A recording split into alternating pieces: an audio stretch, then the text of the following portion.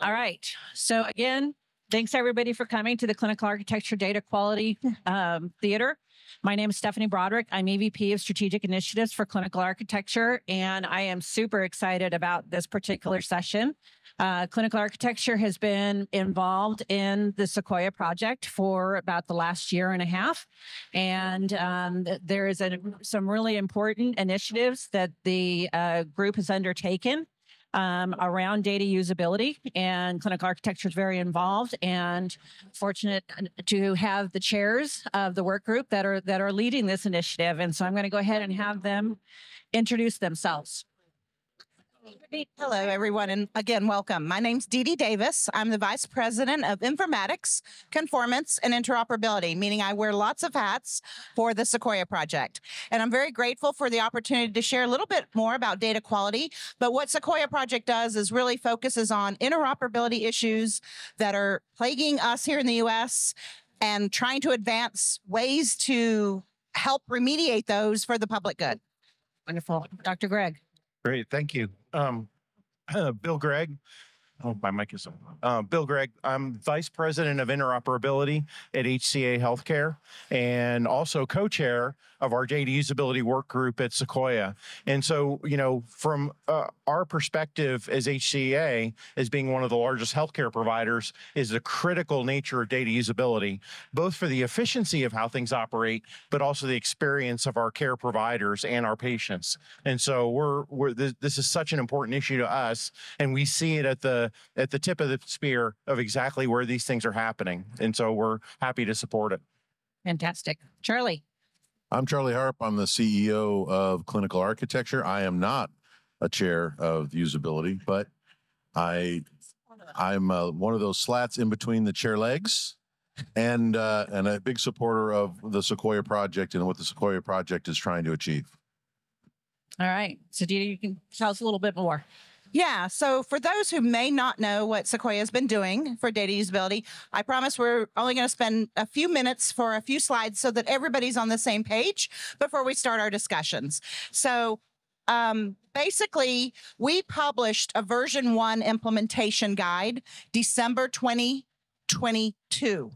So we actually published guidance. We started as a work group. Um, this is kind of the history and purpose of our work group um, from the charter.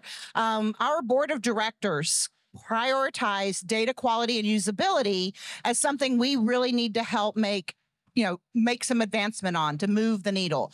We have lots of data moving. I don't know if you realize but there are over 9 billion clinical documents moving across networks today in the united states.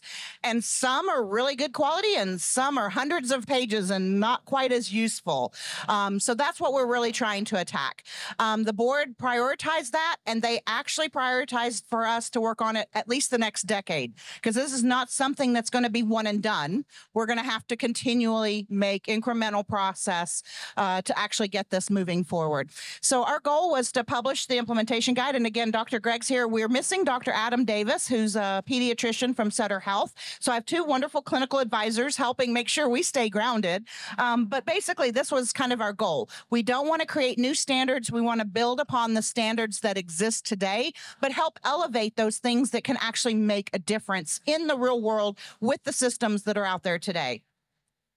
The publication of the guide focused on six topic categories. So on the right side of this uh, slide, you'll see those six. There's things like provenance. Where did the data come from so that it could be trusted, making sure you know where it came from, what date time it came from. Things like being able to reduce the impact of duplicates. When people query for data, a lot of times they get the same information from multiple sources. How do we reduce some of that? How can we do things to, to help alleviate? Those are just some examples, but the implementation guide. This is kind of like the outline. Um, we have uh, the executive summary and the entry level pieces. There are the six topic categories, and then there's some appendices that uh, that support that. It's only 42 pages, um, and if you take and look at just the requirements part of it, it's probably less than 10. So it's not a huge lift, but hopefully something that's easy to look at.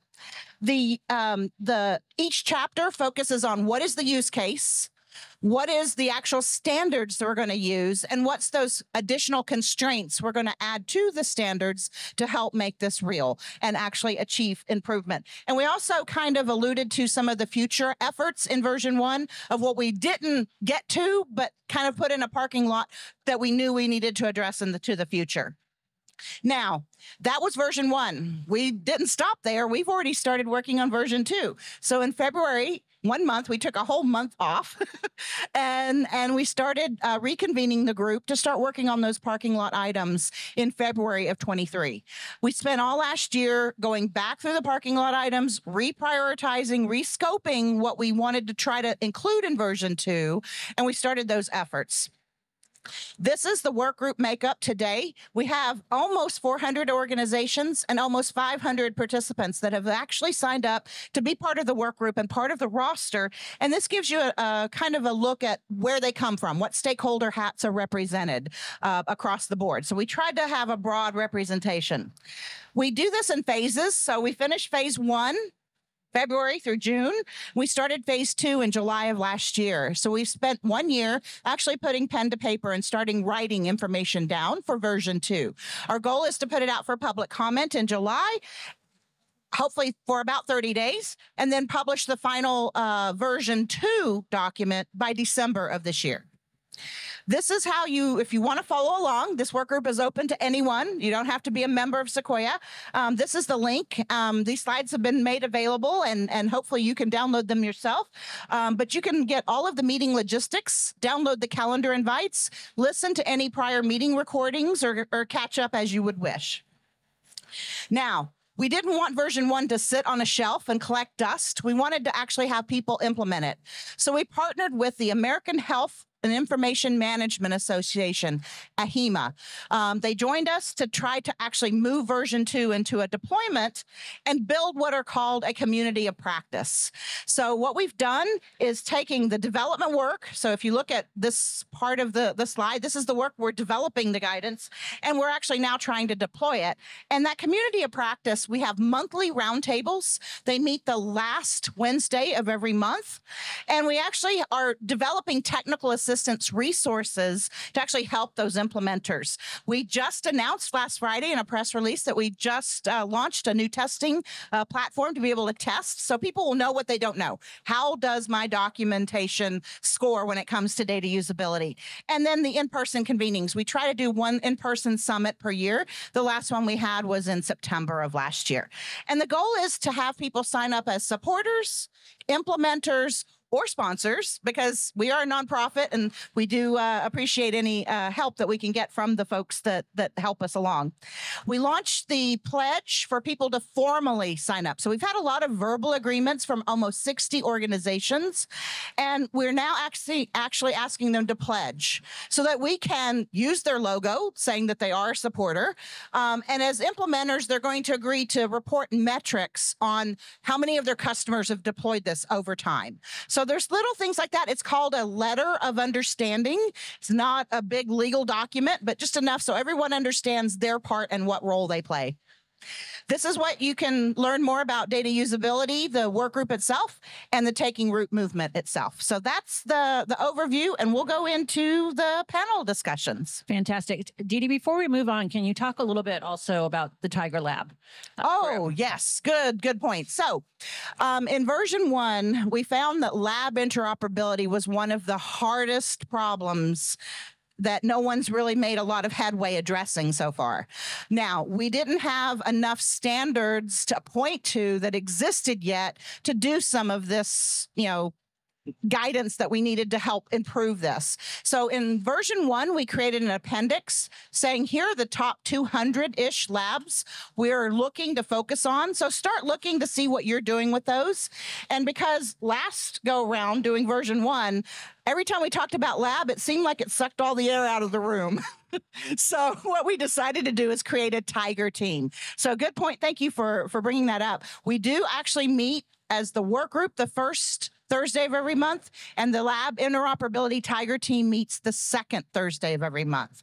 So it's a one month a, a month monthly meeting, and we have representation from the large labs like LabCorp, Quest. We have folks from subject matter experts across the industry, from the standards organizations, as well as those folks who are actually doing some of the landscape assessments and helping us figure out what should we focus on, what are the use cases that are going to give us the biggest bang for the buck.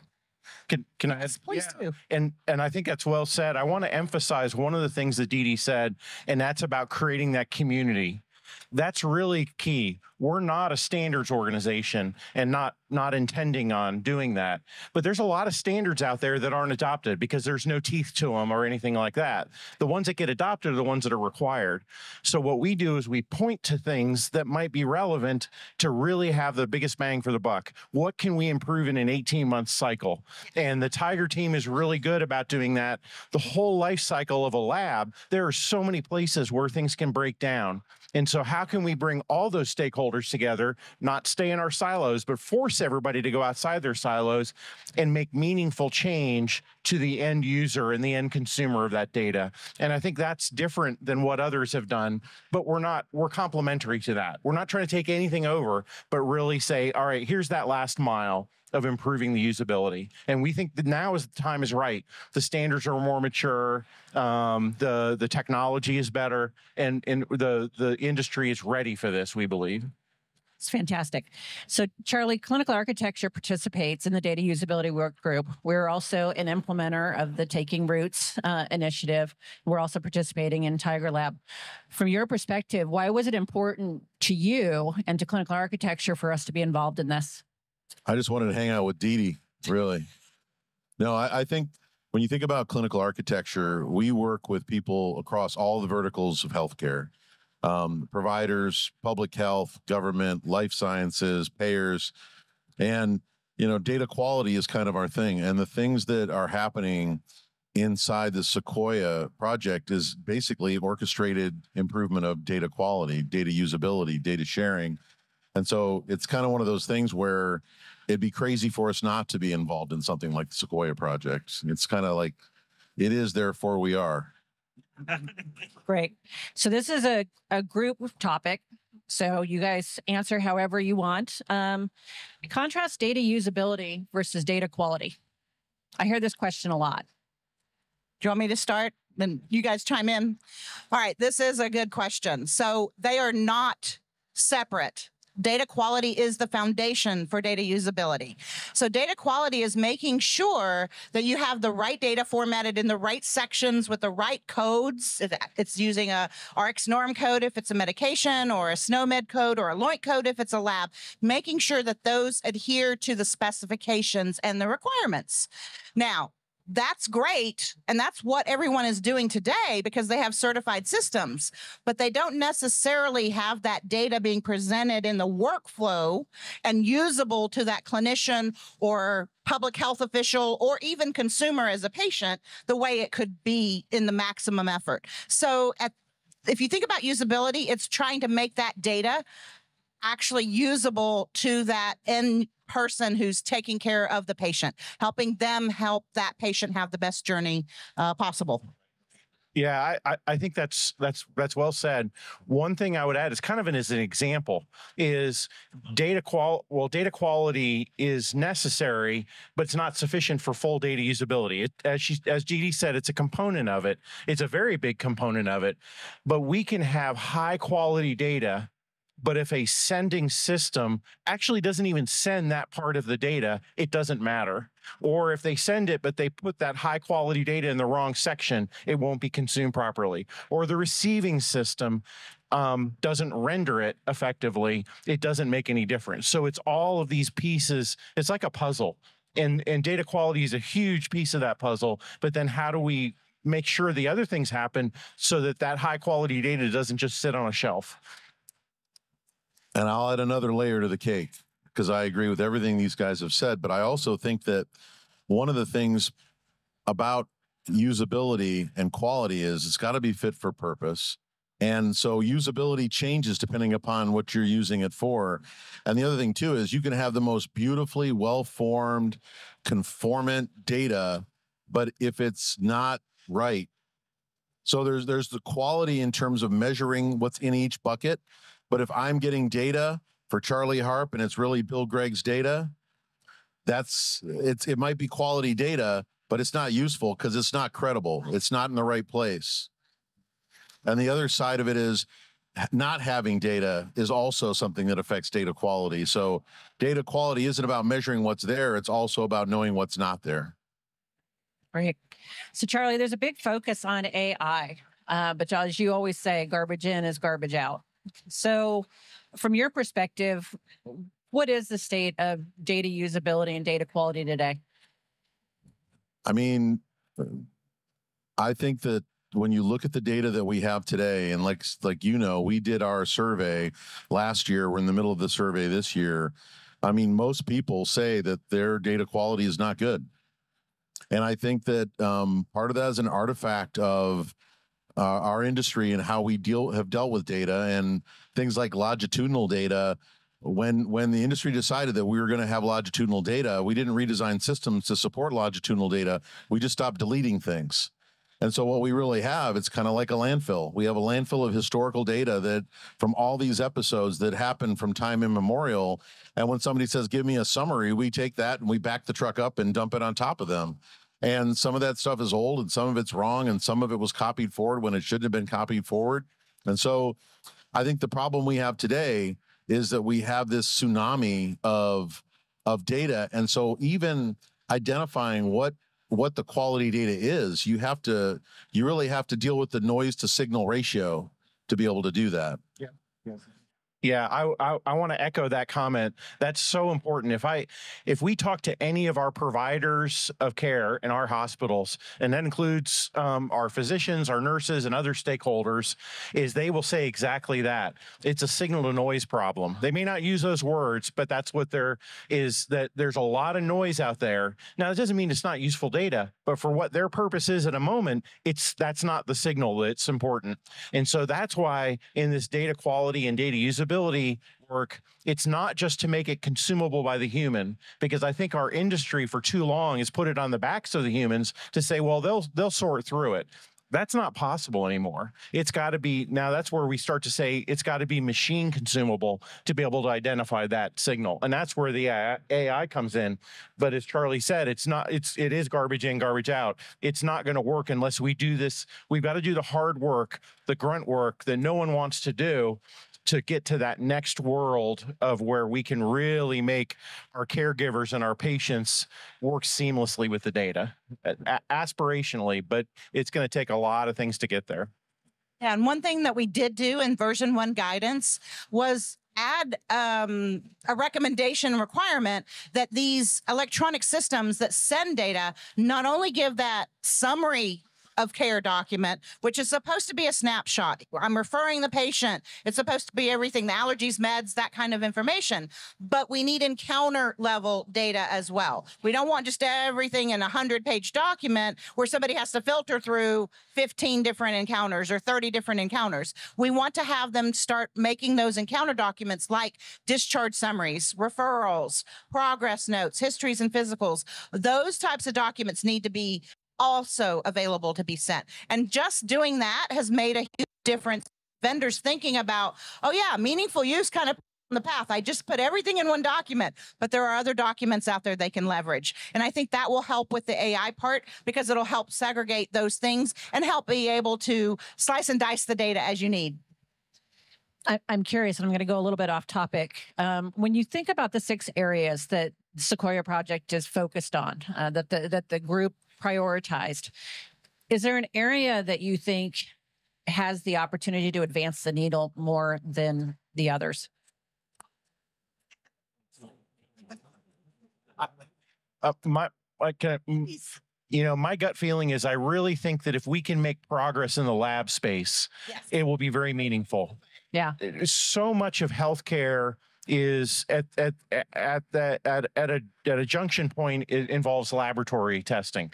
And right now clinicians see one piece of that but they're not able to assimilate all the things together and really make meaningful assessments of it without a lot of time. And so if we can solve that all the way from those who are creating the data to those passing it along there's so many steps along the way and it fails at so many points. I think that would be a great example of something that we can solve. And I think it's solvable because it's all discrete data. and it's one of those pieces, and it, it, won't solve everything, but I think it would be such a meaningful change for our users that I'm really hopeful about it that we can make progress. So. Right.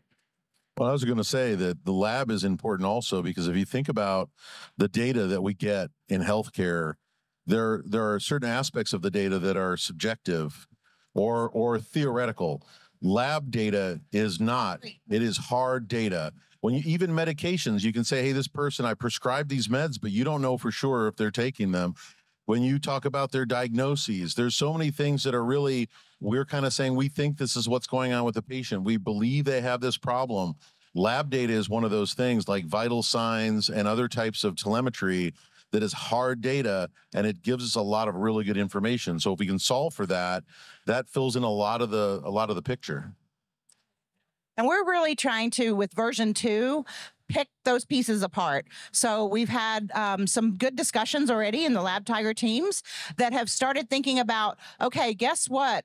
There's like six different codes for albumin, which is one lab value when all of these vendors put these systems in their customer sites with the meaningful use dollars seven years ago, a lot of these sites have never updated those codes. There may be a better code to use for albumin based on how they tested it. How was that test resulted? Um, so thinking and making folks really consider, are there areas that I can make this IT system harness its power and give us that data a little bit better? Well, and one thing I would add to that is you know, clinicians and clinical systems, people are often either lumpers or splitters. I want to group all these things together, or no, we've got to maintain the fidelity. And we can do both.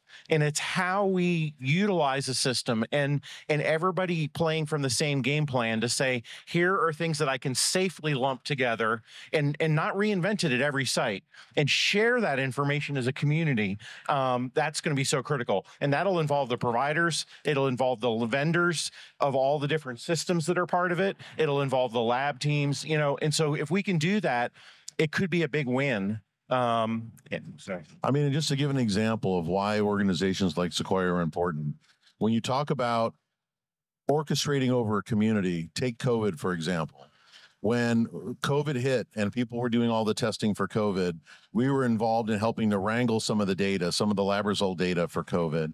And the problem is with with no orchestration and with no guidance, there was like 34 different ways to semantically describe COVID. There was 72 ways to say positive or negative for COVID. And so the problem is when you start out with that kind of chaos, you have to put so much work in to align that data to do anything meaningful down the road. If somebody at the beginning or if somebody can orchestrate and say, this is how we're going to do this before you really get started, it saves so much time and effort and creates a much more agile environment down the road when you actually encounter and have to use that data. Right. So there are a lot of organizations that are trying to solve the data quality, data usability challenges. You've got organizations like HL7 trying to define standards, implementation guides. So how do you guys work with those organizations and coordinate so that it, so that we're all trying to solve the same problems in the same way? That's a great question. Um, well, luckily sequoia has been working with hl7 other standards organizations like SNOMED and so forth for a very long time. Um, from an hl7 perspective i'll give you a couple of examples. So in the version 1 guidance that we put out we actually worked with hl7 to help us develop some of the examples that we put in there. So one of our use cases was patient centric we wanted to have a way for folks to understand what's the best practice when a patient wants to self report that they've received this immunization or that they've had COVID. And so that was something that all the vendors are saying, okay, what, how would I even put that in some electronic transaction? So we went to HL7 and we said, hey, this is some guidance we'd like to have.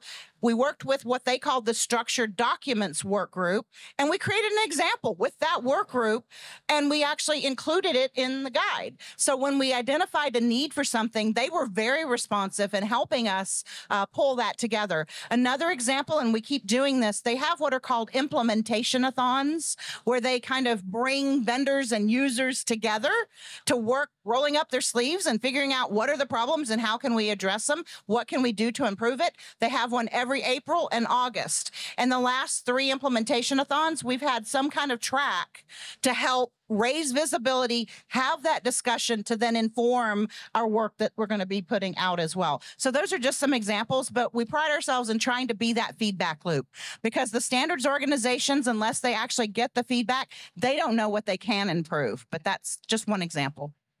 and I would add too that many of the standards organizations they'll work with the vendors and they'll work with those that are looking at from an academic perspective, but they may not see all the things that are happening in the field with the providers. And so that's part of what we do is we bring all those together.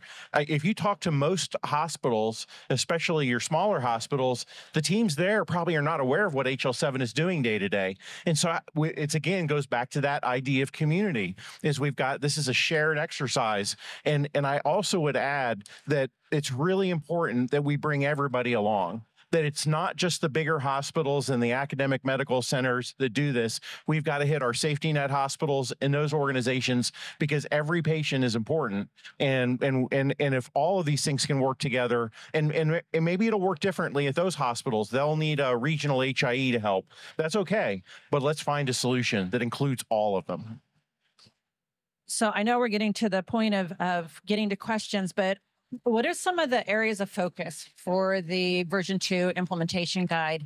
And a little bit further beyond that, I know when we were doing the Tiger Lab, at, at first we didn't have participation by the labs. What else do you guys need? What what other types of organizations do you need to come to the table to help with these efforts? So I know I'll start and please, from a clinical perspective, keep me honest. But um, so the high level items that we've really scoped in for version two that we're looking at trying to do, the first version guide was really more focused on CCDA, a clinical document architecture that everybody is using today because that's what's real. That's what's being exchanged. But there's a lot of work starting to happen with FHIR. So we're going to be being more technology agnostic and making sure it could be applied to version 2 messaging, lab which is more version two, or FHIR messaging, um, or even the, the CDA documents as we were talking about. So that's one place, FHIR being added. The laboratory that you mentioned earlier, we really are doubling down on trying to have something from that. And with the Tiger team efforts, we're hopeful that we can at least help raise visibility and educate the users to understand what they don't know because i think that's part of it. They don't realize there's things they could improve. So we're really going to try to include the guidance for the lab piece. And then overall in my mind it's trying to think about the receiving systems too. The first version focused on how do you send the data? How do you send it to improve that usability? We also want to look at how do you receive it so that clinician can maybe move the sections around easier or slice and dice the data so that a cardiologist may want to see something higher up in a document than a normal primary care provider. So thinking about those type of receiving system enhancements. I, I, agree. Those are all important. Um, and one piece that we're looking at, and this is a tougher thing to crack, is a lot of testing, even um, you know, whether something is conformant or not, happens on QA data or test data. But where I see it break down is in the real world. What we receive, uh, we have systems across the country that pass with flying colors, but when you actually put them in production and there's real patient data, it breaks down because that wasn't, that's much more difficult to measure. I think we've got to get to a point where we can safely and effectively measure the quality of actual data and and the, and the usability of that data and i and and that is a whole nother level and we've got to walk we got to crawl walk run uh, but I, that is something we're going to hopefully be able to start pushing in that direction this implementation guide um, but it'll be a, a definitely a future thing And I think we've got some ideas around that, around measurement. So, um, so I want to make sure that we leave time for questions. Do we have any questions from the audience? I have a question for Didi. Yes, sir. So we talked about providers build great inventory and make sure it's complete about provider organizations. I'm curious for when I looked, I was looking at the various guidance documents in terms of the use in research and applying this for things like the enclaves that are built for N3C or for all of us uh, and those kinds of initiatives. It looks like there'd be some applicability. Is that in scope now or is that on the on the roadmap? We're really focused on the three use cases provider to provider exchange, so clinical for treatment purposes, typically, um, what we call provider to public health. So public health is not research really, but and public health back, and then healthcare entity to consumer. So we're really focused right now on those three overarching use cases. Research is definitely something that we want to get the data flowing right, but I definitely think there's a place for that. And again, this is not one and done. So it may be something we focus on in a future version. It's not going to be something we focus on for version two, but we definitely are open to what we can, especially with the focus from the Biden administration with the cancer moonshot. Um, there's a lot of emphasis on, you know, research capabilities, even from COVID. So we want to try to see how we can support it. We got to get that data right, high quality and usable before we can start doing the secondary part of it. I, I think a lot of what we're focusing on will benefit research just just naturally.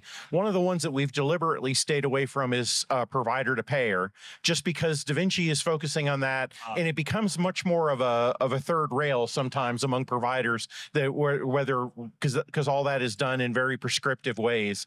Um, but I think a lot. I think that that research efforts will benefit significantly from all the quality efforts that we're doing. I mean, you imagine you get um, we get lab figured out or at least improved. That's such a big part of of research, and just uh, you know, it's it's not solving that use case directly, but I think it'll have benefits. But I would imagine it will be one of the it would be one of the more natural ones to for us to get to over the near term.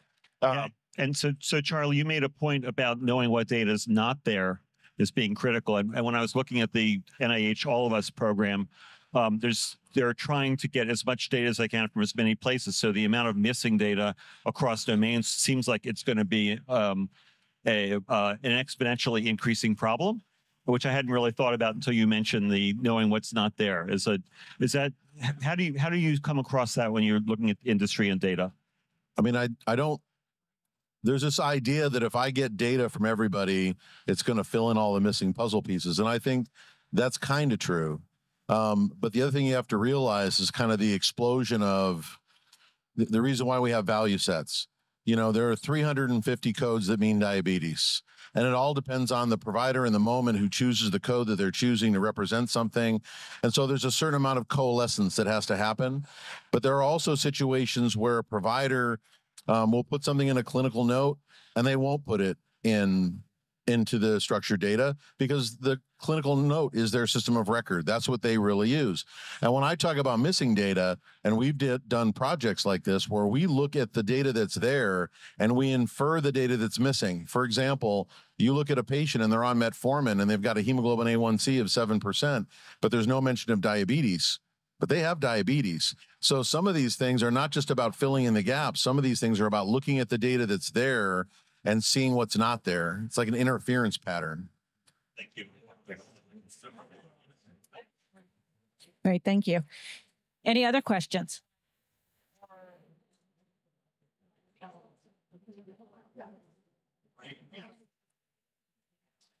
Okay, if there's no more questions, I have one more question. All right, so in the HIE and interoperability pre-forum, uh, pre-conference forum, that Mariann Yeager, president of Sequoia, drew out, and I heard you state the same number, which horrified me, to be honest with you. So 10 years, 10 years, 10 years till we solve this, 10 years till, 10 years till what? So, yeah. So, Mariann, for those that weren't part of the pre-conference symposium that we had, the forum, uh, there was an HIE and interoperability forum, and she was our opening keynote. So, our CEO from Sequoia, and the the the, the item was that it's going to take ten years to actually make a real difference. So it's going to be incremental. I keep coining the coining the term baby steps. I wish we could do it faster, but unfortunately, we have so many competing priorities. Vendors have regulations they have to meet. They're looking at reporting things that they have to report for uh, quality measures. So this data quality and usability is one piece of it, and we need to leverage legislation and regulation as it exists. So version one, we focused on the U.S. core data for interoperability version one. Our second version guide will be focused on version three. But as the ONC continues to continues to release the US CDI, we're going to continue having to adopt and pull those in. We don't want to create something that's not already on somebody else's radar, a vendor or an implementer itself. So yeah, it's going to unfortunately take, we're estimating at least 10 years to make enough difference so that research and some of these things can truly benefit because you've got a complete data set. That's kind of why I think she said that that way. Um, but be patient. Um, know that all of you have a part to play to help us get there. So I I actually think that's very optimistic, and it's it's it because this is a big issue. It's a big problem, and we've been digging a hole for a long time and and making things more complex and less organized, and we've just been piling new technologies on. And I think if we end up ten years from now. Eh, What, 10 years from now we'll either be exactly where we are now or we'll have improved it will it we we might get i think we'll get to a point and maybe it'll be seven or eight years where the pace will accelerate because we'll have done enough base and foundational work that it can move more quickly. And you know, but we we can't underestimate the and I don't want anyone to underestimate the challenge and think we're going to do it in two or three years because I want everybody to participate and to and to be part of that hard slog to get through it. Um, and then we will be in that better world when when when I need more health care as I'm older. And I'll, I will be very ecstatic whenever things are much better organized. Well, I couldn't disagree more. I think blockchain and large language models will have it all sorted out in the next three to four months. I'm I'm uh, I'm fairly convinced. Wish. I uh, and I have some swampland uh, not far from here that's for sale. Um, uh, no, I I agree. I think that I've told people for a long time that healthcare as an industry is disrupt proof, um, or at least disrupt resistant. And the the vital nature of what we do, and and all of all of the people that it impacts and how it involves, the only way we're going to make meaningful progress is through pragmatic, incremental improvements that we institute across the organization and with a significant amount of buy-in because one of the things we have to remember i always say healthcare evolves from the edges. The people in the trenches of healthcare are vital. And if we try to dictate from any standard or or government or central environment you shall thou shalt do it this way it almost always backfires us on one way or another. So the way to do it is doing incremental improvements where the people in the ecosystem see the benefit so that they they buy into it. And I have heard Didi many times reiterate that exact same concept on the work group calls and even in the HIE and interoperability showroom or showcase. Just incremental. Yeah. That's why she's mm-hmm. my hero.